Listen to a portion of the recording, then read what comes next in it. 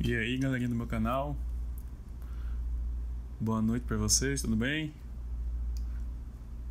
Nós estamos no último vídeo da série de vídeo do tutorial do Marco Antônio, correspondente ao passo 7, né, criando um menu de contexto para os itens da List View.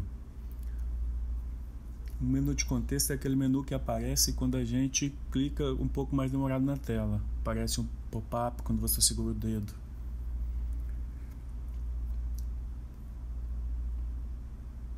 Nós precisamos abrir então o listar tarefas activity, o método onCreate. Né, vamos copiar e levar esse código para lá. Então tá aqui o método onCreate, vou colar aqui, vou importar as, as classes é, então precisa importar view, contexto menu é, e menu item.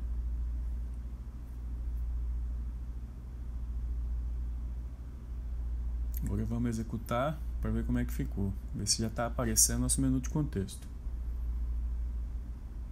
Então clicamos, ok, apareceu. A gente vai para o próximo passo, é o passo 7.3. Né? é, para implementar a ação de excluir, a gente precisa selecionar o item, saber qual item está selecionado. Né? Então, para isso, a gente vai implementar a ação de excluir né, na tarefa é, lá dentro do, do método set create context menu listener ou create context menu.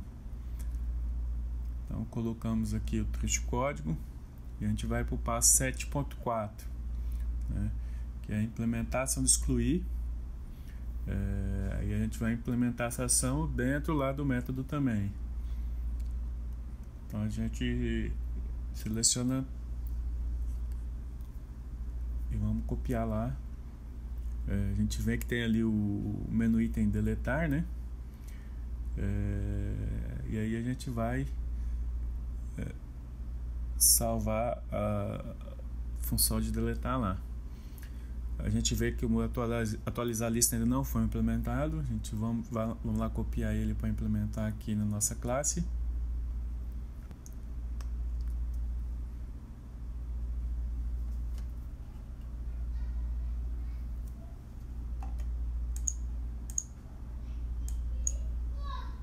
Vamos implementar dentro da nossa classe é, listar tarefas activity.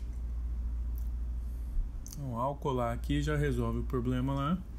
E agora o nosso método é, onStart que vai atualizar através das chamadas ao método atualizar lista. Então nós precisamos alterar o método onStart.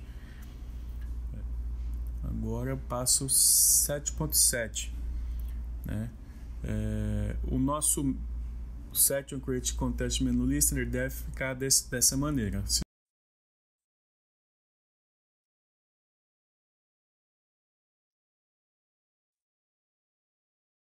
executar e fazer o teste, né? excluir alguma tarefa. já foi recarregada a aplicação. É, então vamos excluir essa tarefa que já estava feita né, em vermelho. Legal, funcionou. Tarefa foi excluída, sumiu da nossa interface. Agora, por último, último passo do tutorial é colocar uma caixa de confirmação é, antes da exclusão do nosso item. Então a gente precisa modificar o deletar set ao menu item click listener, né, para ele pedir a confirmação através de um dialog, certo? Então vamos modificar aqui. É, a gente pode né, apagar o método. Aqui deu um.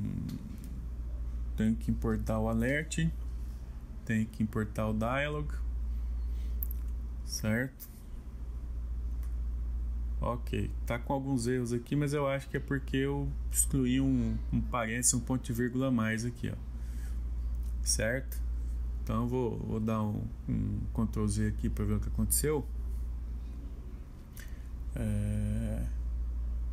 E tá certo, eu excluí né, duas chaves, um parêntese a mais.